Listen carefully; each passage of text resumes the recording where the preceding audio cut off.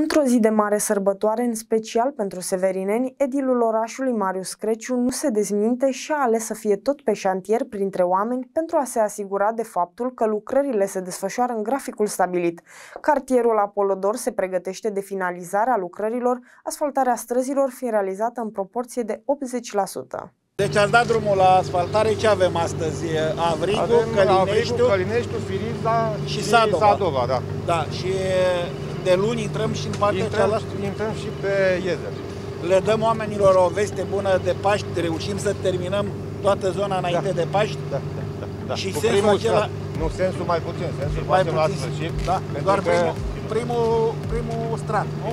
Da, primul Adică strat, se poate circula, se să poate fie... circula, urmează ridicarea capacelor la cotă și după Paști al doilea Intrăm strat. al doilea strat de strat. uzură, da. Da. Sens- După zeci de ani de nepăsare, cartierul Apolodor este în plin proces de modernizare. Primarul municipiului Drobeta Turnu Severin, Marius Creciu, s-a ținut de cuvânt și astfel a schimbat complet fața acestei zone, îmbunătățind semnificativ nivelul de trai al cetățenilor. Cartierul Apolodor este acum un loc luxos care beneficiază nu doar de o infrastructură rutieră modernă cu străzi largi și un bulevard impresionant, dar și de modernizarea rețelei de apă-canal, preluarea apei pluviale, extinderea rețelei de gaze naturale și amenajarea trotuarelor. Le dăm o veste bună oamenilor din zona uh, Apolodor și Banovița.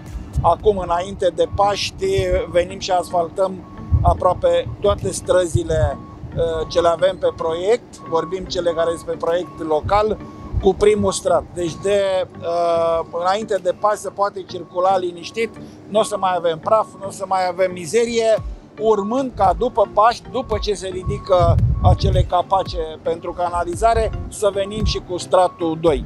În momentul acesta suntem undeva pe Apolodor la 80% din străzile pe care le avem pe proiect. Urmează și cele din, uh, din zona Banovița, acolo suntem undeva pe la 50%. Cred că uh, cel târziu, în luna iulie, ieșim cu totul din acest cartier. Așa cum spune și dumneavoastră, înainte era, nici nu puteai să-l numești cartier, nu puteai să o numești zona de locuit, pentru că era un fel de junglă, pe lângă uh, vegetația extrem de bogată și uh, mărăcini și tot ce vrei și nu vrei, am avut uh, foarte mult de cărat și uh, zona de deșeuri din construcții, am avut de spar, de piconat uh, platforme întregi și aici, după cum bine știți, a fost o zonă industrială. La un moment dat s-au dat locuri de case pentru oameni și noi, primăria, a trebuit să venim din spate și să curățăm toată zona. Cu prilejul sărbătoririi Sfântului Gheorghe, care este de asemenea ocrotitorul municipiului Drobeta Turnu Severin, primarul Marius Screciu a devenit nostalgic și a transmis un mesaj severinenilor. În alți ani, în acest weekend, erau organizate zilele orașului. În primul rând, urez la mulți ani tuturor celor care uh, poartă numele Gheorghe și derivatele. Urez la mulți ani tuturor severinenilor, având în vedere că astăzi este ziua orașului, ziua ocrotitorului orașului Drobeta Turnu Severin. Altă dată petreceam și noi, era vinerea, știți că începeam, de fapt de joi seara începeau deja mesele pentru mici, pentru uh, bere. Iau niște zile frumoase, zile pe care uh, mulți dintre severineni le așteptau, pe lângă distracția, să zic așa, uh, normală cu mici și cu bere, aveam foarte multe uh, evenimente, aveam, vorbim deja la trecut, să sperăm că de anul viitor măcar putem să vorbim și la timpul prezent.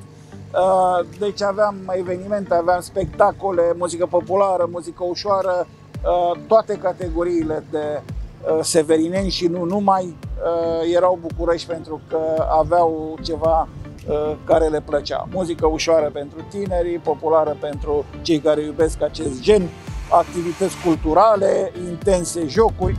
Au fost uh, momente plăcute, sperăm să le reluăm, să ne reluăm cu toții viața pe care o aveam înainte, că altfel nu simțim că trăim. În cartierul Apolodor s-au realizat investiții importante, infrastructura rutieră era grav afectată, iar condițiile de trai erau deplorabile, acest loc fiind uitat de foști edili ai municipiului Drobeta Turnu Severin. Este o investiție complexă pe care locuitorii zonei o așteptau de ani de zile.